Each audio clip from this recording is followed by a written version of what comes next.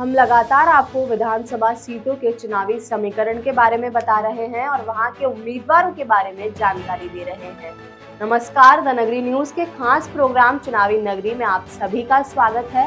मैं सिद्दिका मनोहर सोनी आपके साथ।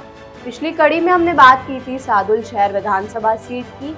आज हम बात करेंगे जहाजपुर विधानसभा सीट के बारे में। सबसे पहले बात करते हैं 2018 में हुए विधानसभा चुनाव की। तो आपको बता दें 2018 में हुए चुनाव में सीट पर कुल दो लाख तीस हज़ार एक सौ छब्बीस मतदाता थे, जिन्होंने बीजेपी उम्मीदवार गोपी चंद मीणा को चौरानवे हज़ार नौ सौ सत्तर वोट देकर जिताया था।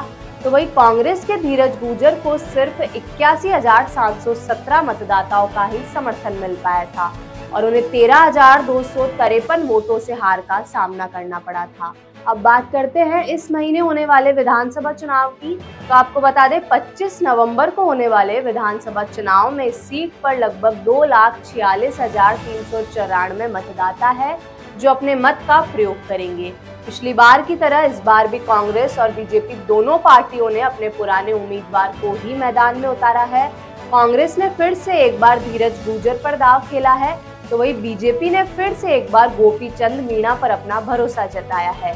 वही अगर यहाँ के जातिगत समीकरण पर गौर करें तो आपको बता दें ये सीट मीणा बाहुल्य सीट है और इस विधानसभा में गुजर वोटर की संख्या करीब 27 से तीस हज़ार है। इसके अलावा एससी वोटर्स की संख्या करीब 35 से चालीस हज़ार है, जो किसी भी प्रत्याशी की हार जीत का समीकरण तय करते हैं। द नगरी न्यूज़ के खास प्रोग्राम चुनावी नगरी में अभी के लिए फ़िलहाल इतना ही। अगली कड़ी में बात करेंगे अगले विधानसभा क्षेत्र की। तब तक के लिए नमस्कार।